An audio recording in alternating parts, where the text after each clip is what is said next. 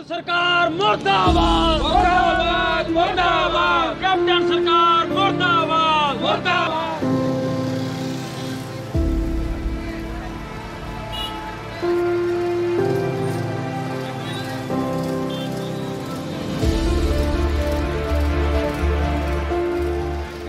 ये पाँच राज्यों के किसानों का एनएचआई के मुआवजे को लेकर के आंदोलन चल रहा है, जिसमें पंजाब, हरियाणा राजस्थान, गुजरात और दिल्ली शामिल। है दिल्ली में केजरीवाल की सरकार है। पंजाब में और राजस्थान में कांग्रेस की सरकार है। और गुजरात में भारतीय जनता पार्टी की सरकार है। इन राज्य सरकारों को बाज़ार मूल्य तय किया नहीं डीसी रेट से दे दिया और का रेट है वो कम है। तो पाँच, जो सारी पार्टियाँ तो आपस में मिली हुई है।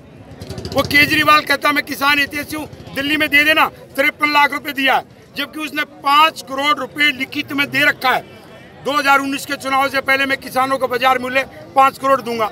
अब चार गुना मुआवजा मिलना चाहिए, बीस करोड़ दिल्ली में मिल रहा है। तिरपन लाख तिरपन लाख में दिल्ली में झोपड़ी नहीं आती। वही पंजाब में कहीं पर दे रहे हैं, आप आठ लाख रुपए बाज़ार मूल्य, कहीं पर बारह लाख रुपए। क्या उसमें हमारी दो साल में हमारी कीमत पूरी हो जाती है? तो दो साल में जो हमारी कीमत पूरी हो रही है, उतना मुआवजा भी नहीं मिले। और ये तो हम पीढ़ी दर पीढ़ी इस ज़मीन से कमा करके खा रहे थे। तो हमारे साथ बहुत बड़ा अन्याय हो रहा है और उसमें मोदी सरकार, कांग्रेस सरकार, आम आदमी पार्टी सभी मिलकर किसानों का शोषण कर रही देखिए, हम तो प्रार्थना लेके आए कि हमारा मुख्यमंत्री पंजाब का वो वार्ता करे और भारत सरकार और किसानों के बीच वार्ताकार बन के और इसका विधिवत संविधान के तहत रास्ता निकाले।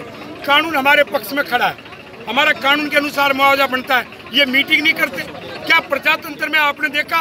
कि सरकार वार्ता भी न करे। ये पहली बार हो रहा है। पंजाब का मुख्यमंत्री एक बार भी किसानों से आज तक नहीं मिला। तो क्या प्रश्न खड़ा नहीं होता कि वो किसानों का हितेशी या विरोधी है? वो नरेंद्र मोदी के साथ खड़ा है या पंजाब के किसानों के साथ खड़ा है? ये पूरा आज पंजाब देख रहा है।